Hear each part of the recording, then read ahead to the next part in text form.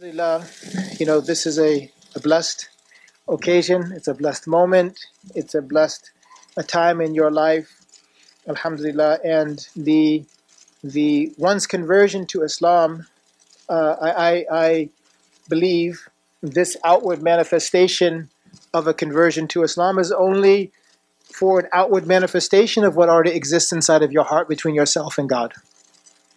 And um, that's what that's what we are here for, and that's what we will do. That in of itself is very simple. We'll just recite the the um, proclamation of faith three times, um, and then there's a few things that I'll ask you prior to that. But what I would just say is that, you know, is there? Would you like to share anything of your story? Would you like to share anything of your uh, of your journey to Islam? Um, we are you are welcome to to have an opportunity to do that as well. Um, I guess I uh, um, it started last year during Ramadan, and um, the it happened so fast I didn't even realize it. But I was just talking to a couple of my friends who are actually um, Muslim, and they were talking about like Ramadan and how it was going to start the next day and they were going to fast. And I was so curious. I just I kept on asking them questions, and then at the end of that conversation, I told them, "Oh, I want to fast with you guys." And they're like, "Are you sure?" and I was like, "Yeah, I, I really want to fast." And I um because I had spent some time talking to them before that, and I didn't. I still didn't know.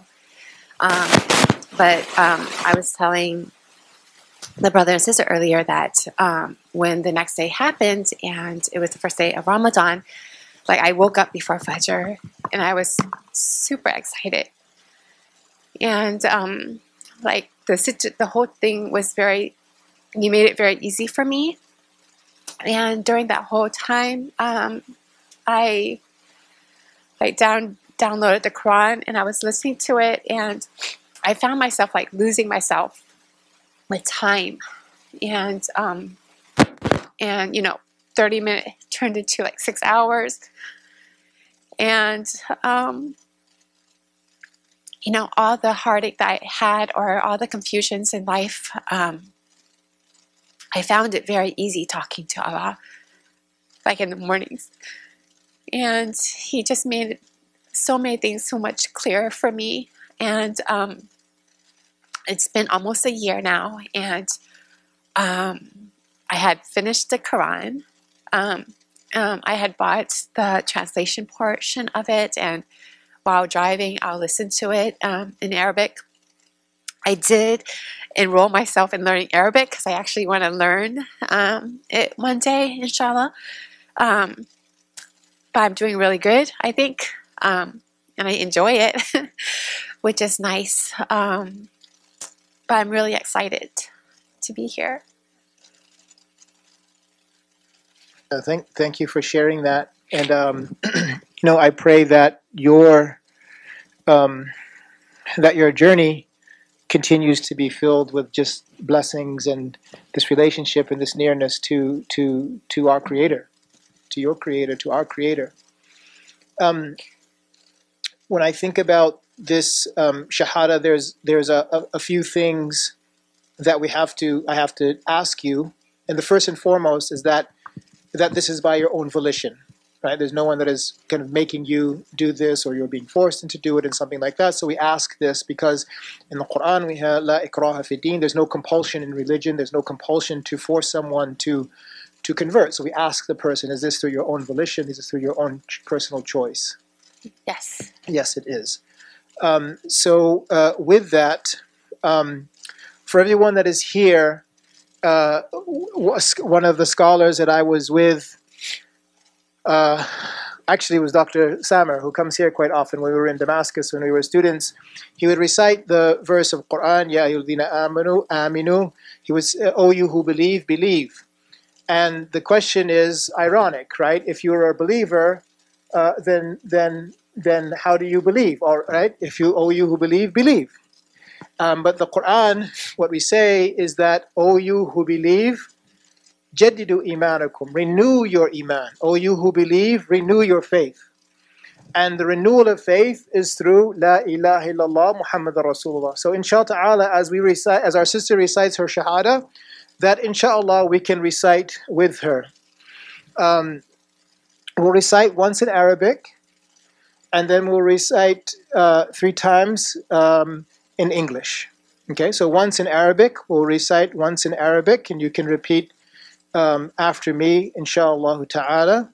And then uh, after that, um, we will recite uh, three times in English. And at that point, uh, that is required for a person uh, entering into the fold of Islam. For the first time with the Arabic will be sufficient, but we also include the English to ensure that a person knows what they're saying. Okay? So, um, is there any of the males that have a scarf, a shawl, or something? So, Sister Grace, one of the things that we've read in the Sirah is that when a, the Prophet ﷺ was uh, would interact or he would give a shahada or something of that with the opposite gender as not to uh, engage in in, uh, in in touch with them that he would either he would give them something of a natural material of his shawl or of a staff his stick or there's also narrations that they would put their hands in water in a vessel that was large. So if you'd like inshallah you can hold on to the end of that in emulation of a prophetic uh, uh, uh, sunnah uh, uh, of this. So inshallah with that you can repeat after me inshallah ta'ala we can repeat, inshallah. Um, ashhadu. Ashhadu. An. An. La. La. Ilaha. Ilaha. Illallah. Illallah. Ilaha. Illallah. Illallah. Wa ashhadu. Wa ashhadu. Anna. Anna. Muhammadan. Muhammadan. Abduhu. Abduhu. Wa rasuluhu. Rasuluhu. We'll say it again. Ashhadu. Ashhadu. An. An. لا لا إله إله إلا الله إله لا إلا الله إلا الله وأشهد وأشهد أن أن محمدا محمدا عبده عبده ورسوله. رسوله. I bear witness I bear witness that there is no God that there is no God except Allah. except Allah. And I bear witness And I bear witness that Muhammad that Muhammad is his messenger is his messenger and servant. and servant.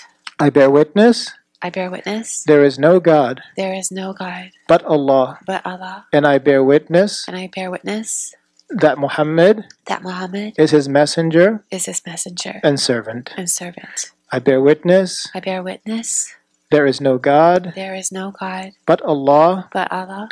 And I bear witness And I bear witness that Muhammad that Muhammad is his messenger is his messenger and servant. and servant. Takbir! Takbir! Allahu Akbar. Takbir! Allahu Akbar. Alhamdulillah, Sister Grace. The um, you know, as as I will just give you some advice similar to those uh, that shared advice with me when I became Muslim, and saying that this is a marathon.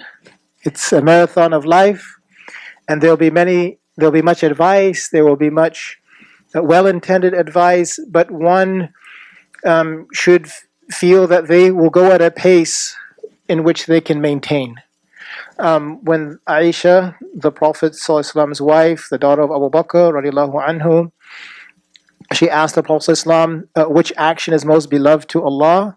He said, that which is uh, done frequently, even if it is small, because there's nothing that is small with Allah.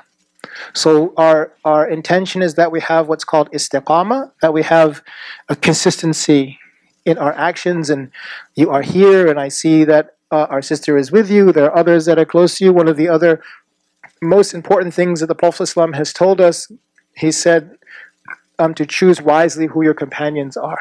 And so may Allah keep you in the company of people who are righteous, people who are striving for the best um, in this world and in the next, who are striving to be near to Allah uh, and are always encouraging, encouraging uh, good um, you know, for all of humanity.